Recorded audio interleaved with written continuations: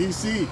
Still a Brady fan. Still a Brady. Still a Brady fan. That's for right. those haters. Oh, he had a great game that last. Don't give him the ball with a minute and 24 seconds in. You, You, see lose. his face? He goes, "Oh, you left too much time on the clock, guys. This is over." Freshly made, just for you.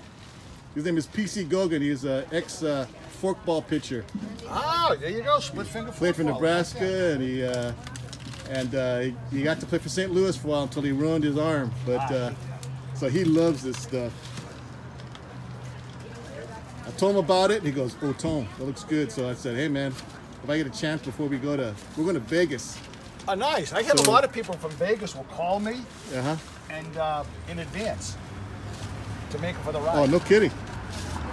I used to buy little styrofoam coolers. Of Should them. I put it in a cooler? You think? You going to Vegas? Yeah. You got to keep it cold. Okay. So it's cheese. He'll Yeah. know authentic cannolis is ricotta cheese. Sweet, sweet. Bam! Bam! There it is. There it is. So are you Danny? I'm the Danny of the Danny and Chris.